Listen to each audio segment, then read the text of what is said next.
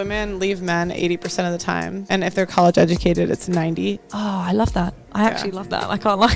no, I'm like, girl, you you go get that. Really? Yeah.